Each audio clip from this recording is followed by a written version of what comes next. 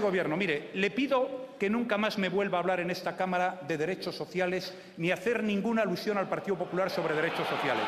Y para buscar un mejor equilibrio en el ratio empleo público-empleo privado, más allá de la no reposición de efectivos que se ha introducido en el presupuesto de 2012, se tomarán medidas adicionales que permitan avanzar hacia un modelo de Administración que con mayor eficiencia sea capaz de generar ahorros en este terreno. Para poner un ejemplo, se reducirá el número de días de libre disposición, se ajustará el número de liberados sindicales a lo dispuesto estrictamente en la ley.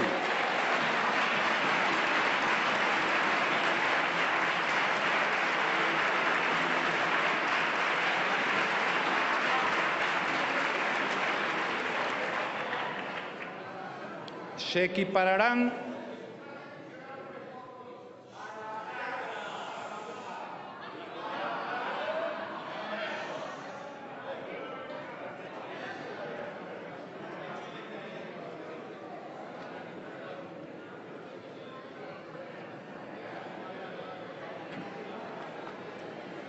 Vuelvo a pedir silencio.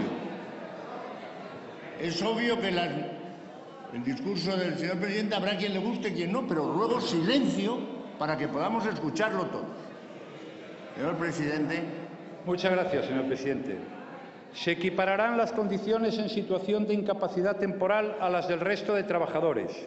Se facilitará la movilidad de los empleados públicos.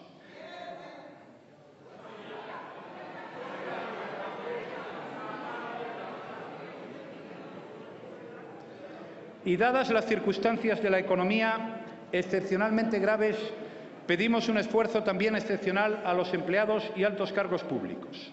En este año 2012 se suspenderá el abono de la segunda paga extraordinaria.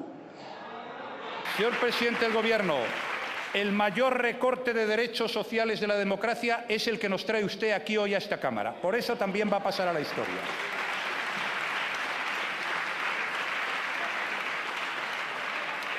Señor presidente, usted es el responsable de lo que ha ocurrido aquí, porque la política económica la ha hecho usted, los presupuestos los ha hecho usted. Nunca le han faltado apoyos de unos o de otros para aprobar sus medidas y usted no ha aceptado lo que muchos grupos, no solo el mío, sino muchos grupos, le llevamos diciendo durante muchos años.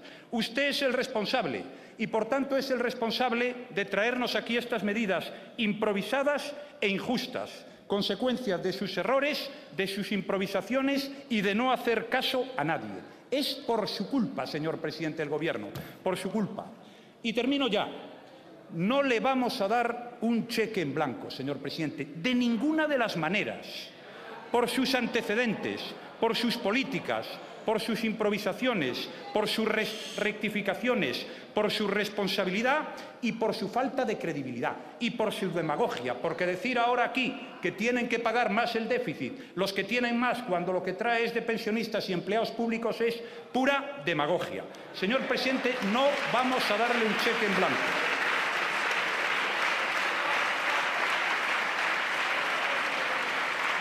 Y, tenga usted claro una cosa, porque es bueno que dejemos las cosas claras.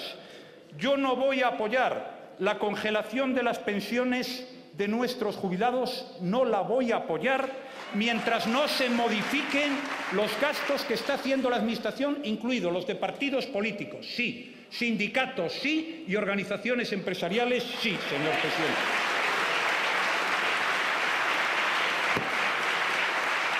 Y por último, por último, estamos dispuestos a hablar, como no podía ser de otra manera, de un recorte justo y equitativo y que afecte a todos, pero no esto. Y, señor presidente del Gobierno, le digo una cosa. España sigue necesitando un plan completo. Es que llevamos meses diciéndolo y repitiéndolo, donde se recojan las reformas estructurales como la laboral que lleva dos años y medio empantanado sin que usted haga nada. Y de la reforma fiscal lo único que hemos oído es que no descarta usted subir los impuestos. Lo acabamos de oír ahora. Va usted por muy mal camino, señor presidente.